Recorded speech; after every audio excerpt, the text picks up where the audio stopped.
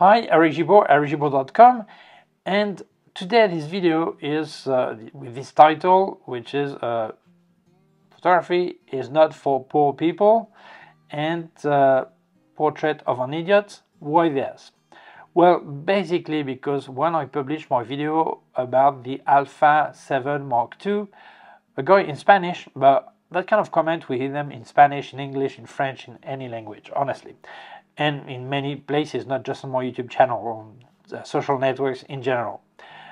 He says, for video, I think it's uh, really uh, back, it's not uh, up to date, and uh, compared to the competition, it doesn't record in 10 bits, it doesn't have 422.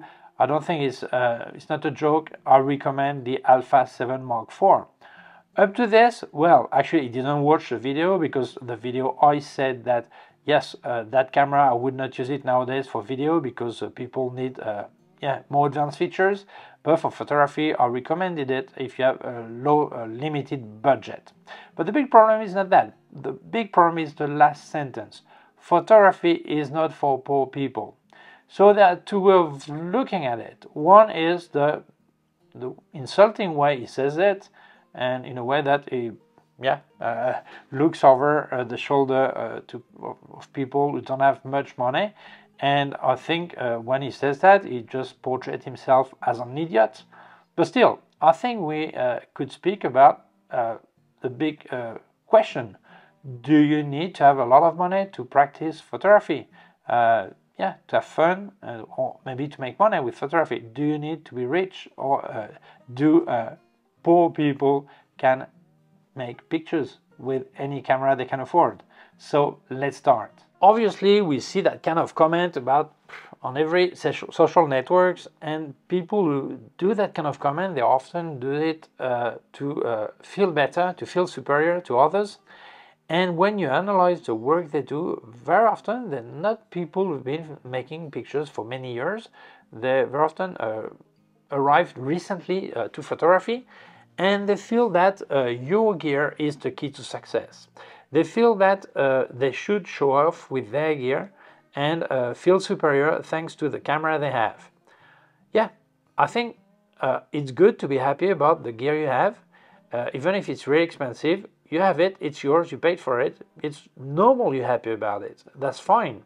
The problem is when uh, they start to show off with their gear and yeah, uh, insulting others or uh, lacking respect towards other who don't have that kind of gear and have a more modest gear. And they also prove that they are complete ignorant of the world situation. We have a world with uh, several speeds, uh, yeah, first world, second world, third world, although uh, they have many different words uh, to, to call it. If we look in countries with yeah, no, uh, not, not that uh, good economy. Well, doesn't mean they're not happy there first. Uh, we check there and we see that to kind of photographers, some people do have a lot of money and they do have great, uh, latest, uh, more advanced gear. But there are many, many, many with really basic cameras. Very often, uh, cameras that in Europe or in the US or in the first world, they are called like, yeah, basic camera, beginner's camera and still they work with them they make great pictures uh, nothing to uh, yeah to envy other uh, camera uh, or other pictures we see uh, out of uh, better cameras. And very often they work with them they make a living out of it. And yes they work with it no problem. So are they ignorant about this situation that you can still make your work and live out of it with basic camera or simply they know about it but they feel the need to insult them. When people do this, they just make a self-portrait of an idiot, basically. Okay, so I think uh, this is something that is a big nightmare on social networks. But now we're going to speak about the big, big question, the one, the, the one that is really useful to this video. So, do we need a lot of money to uh, enjoy photography? Well, if we speak about enjoy, I speak about amateur, not professional. Obviously, you can have any camera have fun, enjoy making photography. Uh, yeah, yeah, it's great. You can have an entry-level camera, top of the range camera, any camera you want and enjoy it. Obviously, if you can afford the top, you have the money, you want it, you uh, yeah, you feel like you deserve the best camera, why not? Uh, you will not carry your money in your coffin to the cemetery, okay? So enjoy it, no problem. But if you cannot afford to have the highest gear, the highest uh, yeah features, all this, no problem. You can make great pictures with absolutely any camera.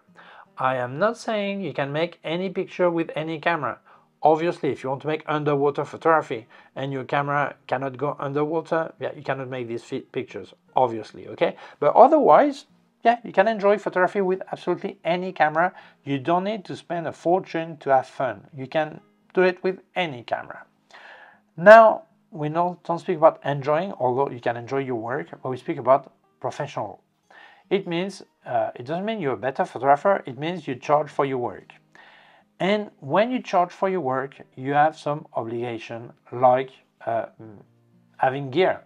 You need to bring some guarantee, not guarantee of making great pictures, guarantee that you put all what all the gear that was needed to uh, try to get the best results. What does this mean? Well, if you make a wedding a reportage and you have only one camera, it falls on the floor, it breaks, you cannot carry on working. So you failed your obligation. You should have two cameras, several lenses. If anything fails, you can carry on working and still give a result to your clients. It doesn't mean the pictures are nice, doesn't mean the pictures are beautiful, it means you deliver pictures because you were contracted for that, okay? So, of course, if you want to be a professional, it is more expensive. Why? Because you need at least two of everything. Not everything, but the main things, okay?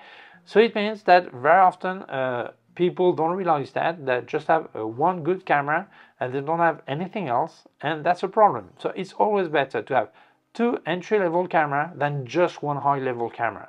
Because if that high level fails or falls on the floor, you're done, you cannot do the work. So Yes, it's more expensive, but you can still get entry-level gear to work as long as you have uh, several things that are double in case anything goes wrong. But there's also another thing, is your personal image. Basically, is how do you appear to your clients with the gear you have? What does, what does he think about you? Well, it all depends on where you are and uh, what kind of professional uh, are in the area.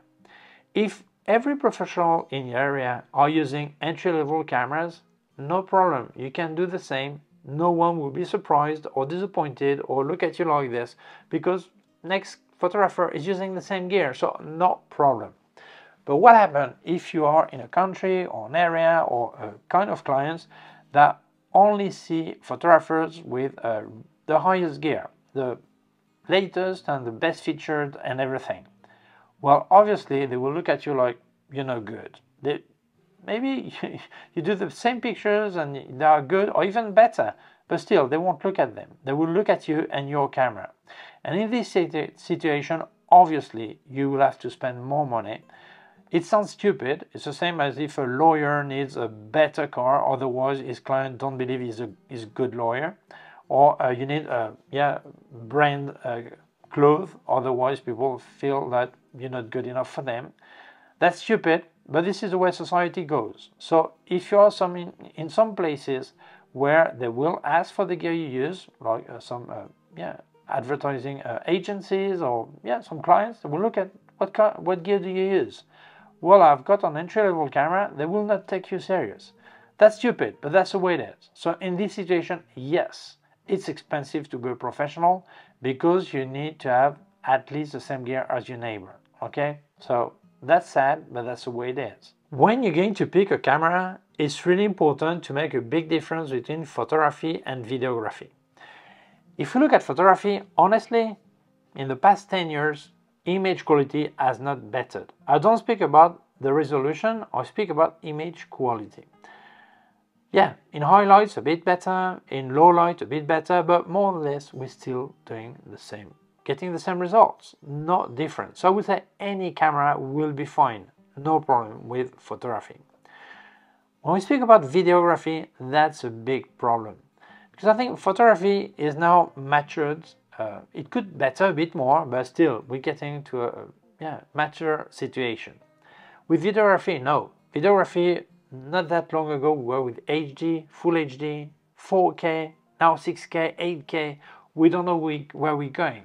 So that's a big problem because if you want to have a really good quality video, you probably have to spend a lot of money on gear for video. Obviously, if we speak about your uh, vacation souvenir, anything is fine as long as you can see it on your uh, TV at home, that's fine.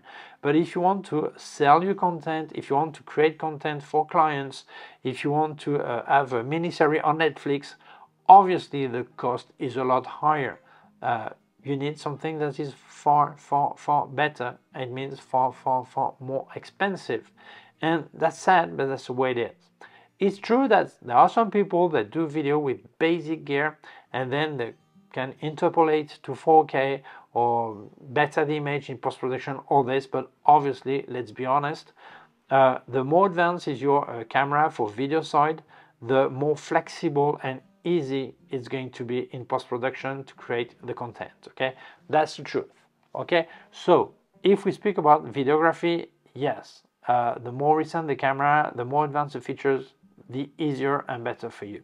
For photography no problem I know some people are going to say yeah but Eric uh, next month is the Olympic Olympic Games and uh, you need a fast camera and great autofocus to make the right pictures all this. Look at this video I published last year, I think, about the Olympic game of Montreal in Quebec in 1976.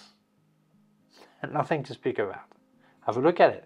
So let's carry on. There is a sentence I really love.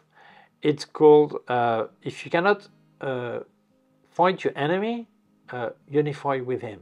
Okay? I like this. If your camera is really limited, well, a feature that are really uh, limited features, you can still use them within these limits. Let's say you're at a wedding and you have uh, the bride and the groom that are uh, dancing the valse and you cannot put your ISO really high because it will be so noisy that will look like a pizza. So, well, you don't put higher ISO, you drop the speed and you start panning and you follow the couple. So that will be sharp and all the, the guests will be uh, moved, okay? Because you're doing a panning. And some people will look at the picture and will think, whoa, that's really original. Look at this. You see them, there, the couple is uh, isolated. You see there are some guests, but you don't see who they are, all this. They're really like dreaming their wedding, they're together, like uh, surrounded by people, but they're alone, okay? And that's really what it is, the valves. They speak to each other, They're close to each other, they forget about the rest. And you see that on these pictures. And you would never guess it was made on purpose because the camera could not do better. So you can learn how to have your own style within the limit of your camera. Or let's say you have a camera and uh, it's a disaster with colors, color balance is a disaster, all this, and you end up doing only black and white pictures. And some people will think, oh, he's a great black and white photographer. He will not tell you that he started to do black and white photography because his camera was a disaster with colors. I got a friend who's colorblind, and uh, yeah, he can make pictures in color, but what he really loves is black and white photography. He is a great black and white photographer. And most people don't know he's uh, colorblind.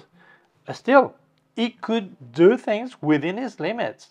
So if you cannot afford the best camera or a camera with uh, more advanced features, you can still be really creative, do incredible things with a limited camera. Don't forget this. Let's speak about money. Well, if we speak about poverty, we speak about money, although some, some people could have a poor mentality, but we're speaking about money. It's important that when you're going to uh, manage your uh, photography budget, you spend the money wisely. Most people think just about the camera, but there are more things that could help uh, have your uh, camera limit uh, a lot further, push them further. Sometimes it's simple. A flash with a softbox gives a different look to your pictures. Tripod, maybe some lenses. Very often people think lenses needs to be uh, the sharpest one, but very often the sharpest one are the most expensive. And uh, you could perfectly use uh, lenses that are not perfect, that had some uh, defects you do see, they're not, uh, not sharp or they have chromatic aberration or strange things. But as I said before, you can unite to your enemy and make it your style. So you save a lot of money on lenses. But there is one part that in 2024 or even 2023 before you cannot uh, forget about. It is post-production. I've got a friend who has many cameras, even very advanced cameras, but his favorite one is the Lumix LX100 Mark II, which is a small compact camera with a small zoom, it's micro four third. You cannot push the ISO really high, and in the on the border and corner, it's not really sharp. Still, why is it his favorite camera? Basically, because he knows how to compose, he knows how to frame, all this. But then in post-production, he can get it to the same level or higher of any, any high-end camera. Why? Because it gets sharpness back, it gets, uh, it recovers uh, yeah, dark areas, it recovers highlights, it recovers everything. And when you see the result, you will, you would never think that his camera cost him secondhand 400 euros. You think it's a, yeah, a lot more expensive camera. And it's important that people realize this. Obviously, you need to have a good computer because when you want to run uh, plugins like DxO or Topaz, you need to have some power because if it's just one picture, if it takes five minutes, that's okay. But if you're doing a wedding and you have 500 pictures to uh, correct, uh, it takes days. Okay, so it's important to have a fast computer.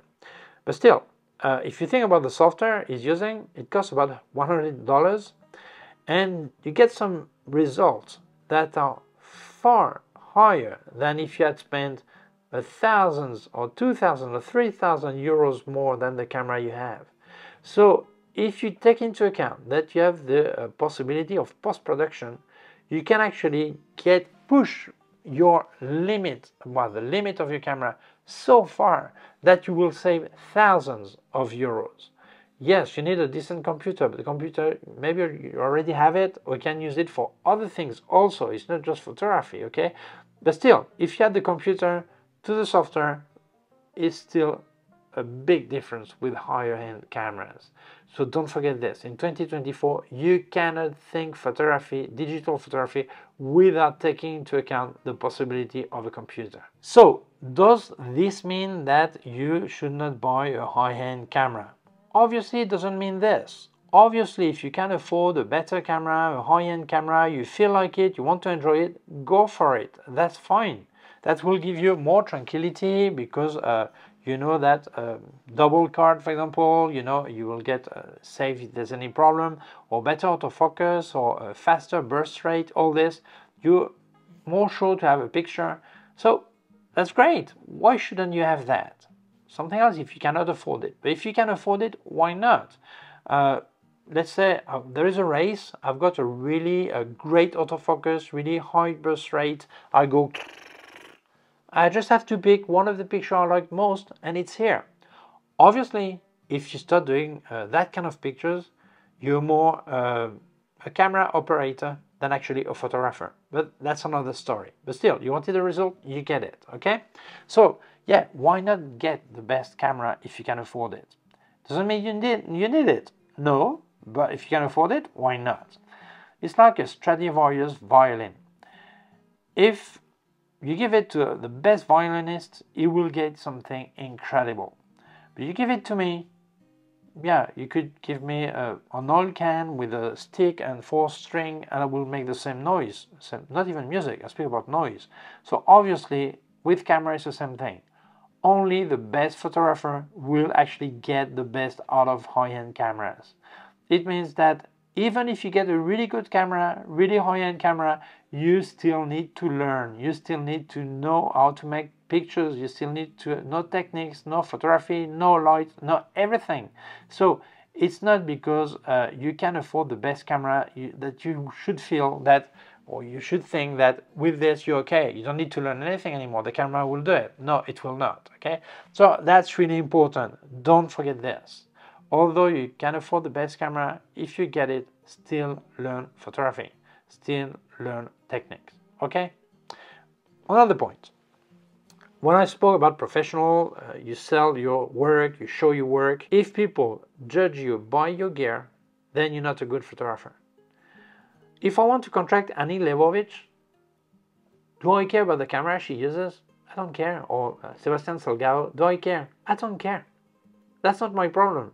I want the result they know how to make. So when you sell yourself, sell your work. Don't sell your gear. Show the picture you can make. The camera you use is irrelevant. Don't even try not to speak about it. If you have entry level, try not to speak about, it. Show the picture. If when they see your work, they ask you what gear you're using in the way that they want some kind of guarantee thanks to the gear. It's important to realize that you did not convince them with your pictures. So you need to better your technique, you need to better your pictures so people don't even care about the camera you use. They want this picture for themselves. They want to buy your work, to contract you, all this. They don't need to know what gear you're using. And that's really important.